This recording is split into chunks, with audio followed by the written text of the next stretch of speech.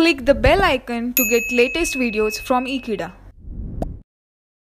Hello friends, today we will discuss about the two types of real-time CPU scheduling that is a soft real-time system and a hard real-time system. And the main issue concerning this real-time scheduling is the minimizing latency. There are two latency we will discuss about. One is the interrupt latency and another is a dispatcher latency.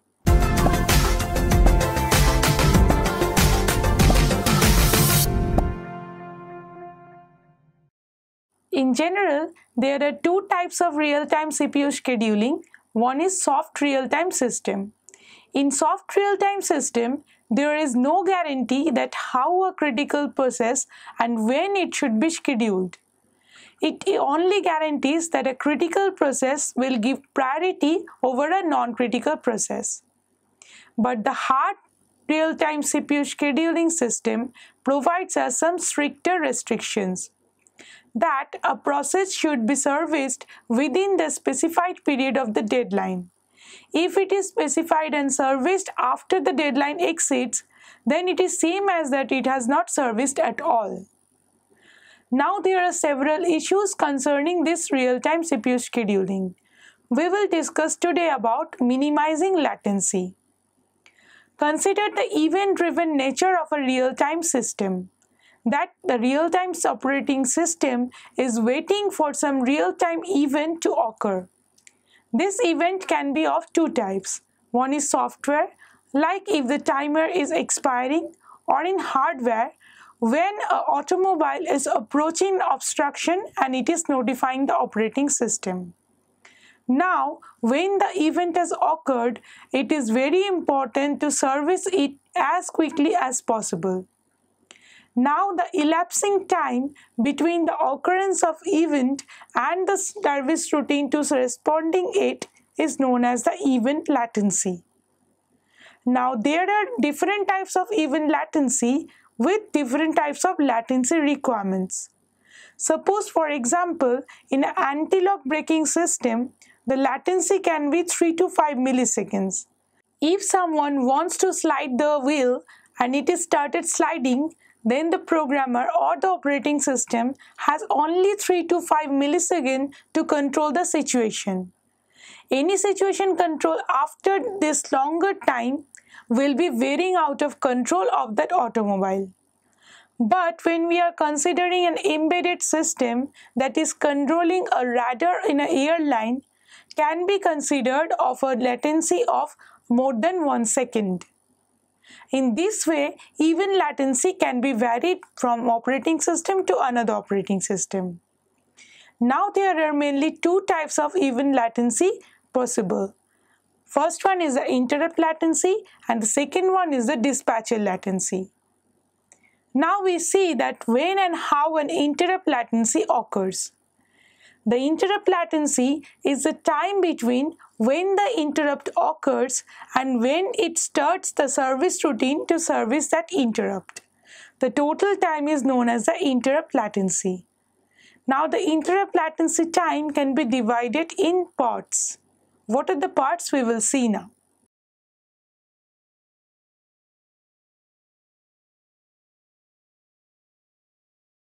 First the CPU is performing some task.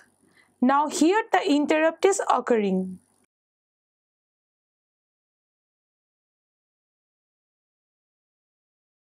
Now the CPU should complete the instruction which it is running and after that it should determine that what are the types of the interrupt.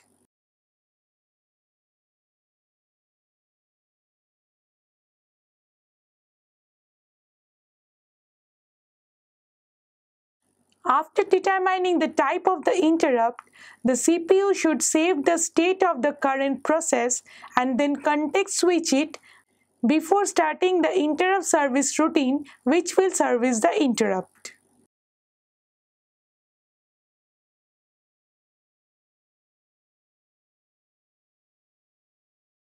After it saved the current state of the process, now it will start the service routine to service the interrupt particularly.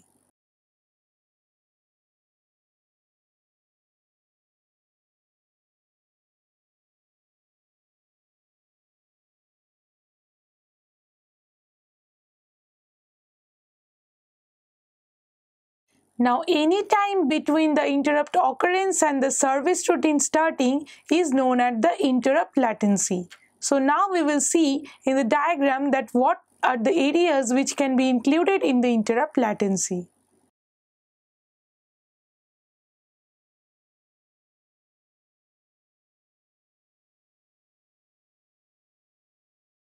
So here we can see that the total time is known as the interrupt latency.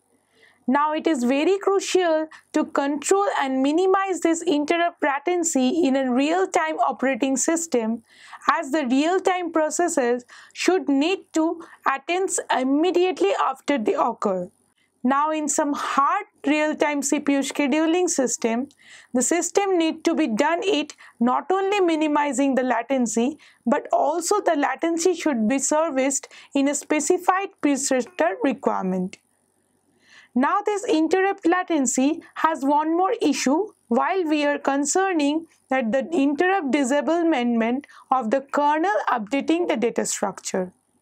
While kernel is updating the data structure, we know that the interrupt is disabled for some time.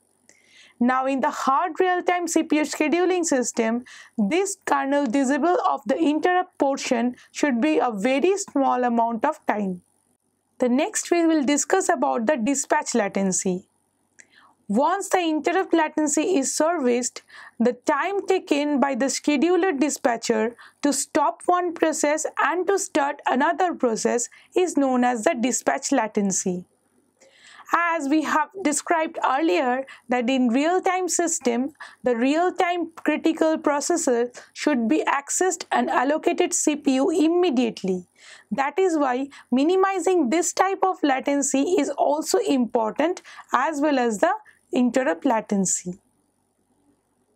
Now we will see in the diagram that how dispatch latency can be make up inside an operating system.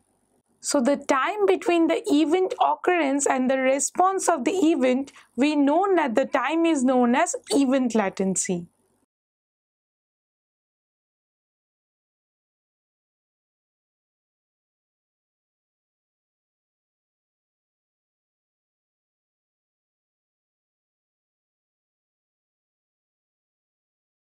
Now in the event latency, the first portion we have already solved with the interrupt latency. So the when interrupt is occurring and the ISR that is the interrupt service routine is servicing that interrupt.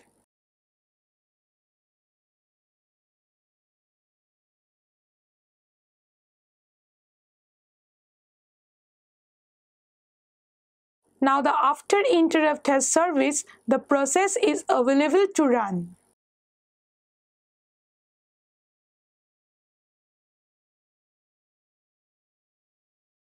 Now from the time of the process available to run and it is allocated a CPU is the actual dispatch latency.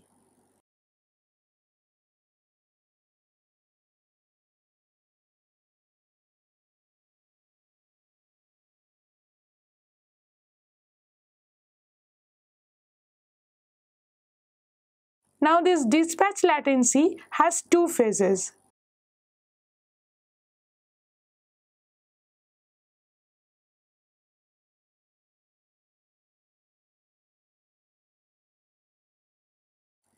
Now the conflict phase is occurring with two functions. First, the preemption of any process that is running in the kernel by a high priority process. And the second one is releasing the resources by the low priority process that are needed by some high priority process. Now in this way, after finishing with the conflicts phase, the actual dispatching is done by the dispatcher and after the dispatcher has finished and allocated CPU is done with the process, the actual real-time scheduling is done.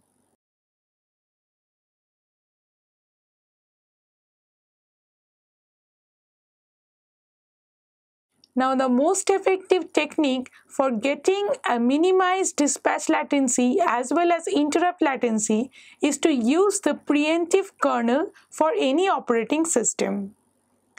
Now to minimize this dispatch latency and interrupt latency, we see there the several ways.